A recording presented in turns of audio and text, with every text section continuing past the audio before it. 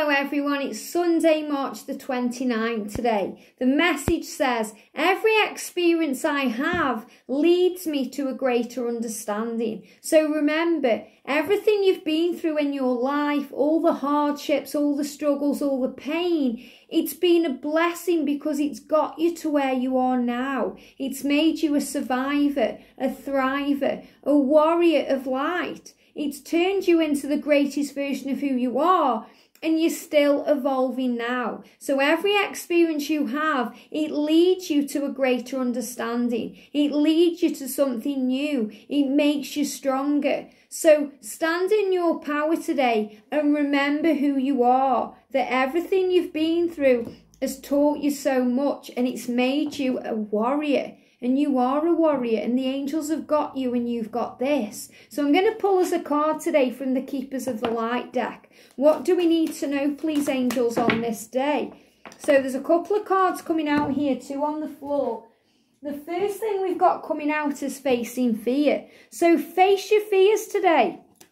Remember, wherever you're going through, Every experience you have leads you to a greater understanding, which means you can release fear because it's illusion. It's a false experience appearing real. It's happening for a reason to teach you strength, to help you realize that you are stronger than any challenge that's thrown in your way. Major spiritual changes are unfolding. This is your chance to soar. And all these crazy things that are going on in the world right now, it's all happening to benefit you. You may not see that because you're seeing the fear, the worry, the panic, the drama, the media, but trust that you are safe, that the angels have got you, and that you can soar high over this fear and see through the eyes of love.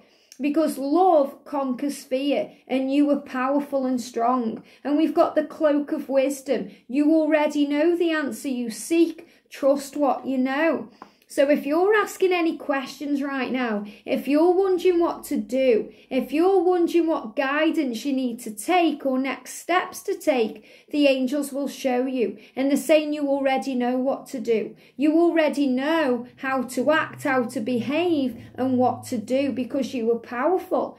And things are unfolding in the right way. This is a journey. It's a pathway. It's not about the destination. It's about the path you're on to that destination. So the angels say, remember that you're on a path. Take one step at a time. So you don't have to rush things. You know, it's not a race. Slow and steady wins that race. So the angels want you to take your time and know that you are protected with supreme protection from Green Tara. You are protected Cords are being cut, move beyond limitation and trust. So cords are being cut right now with the past. Karmic situations are being resolved. Changes are coming in. In other words, magic is ahead. So trust right now that everything is happening for a reason. Face your fears and shine. Rise, shine your light brightly. Remember who you are, that you can overcome any fear any challenge, any obstacle because of who you are. A spiritual being having a physical experience. So don't fear the unknown because the angels are already walking in front of you, helping you, protecting you, removing anything that could do you harm. And you're supremely protected, but most of all, you are loved. So know today that you are safe. Take your time, relax, do you, and most of all, have a wonderful day. And I'll see you soon.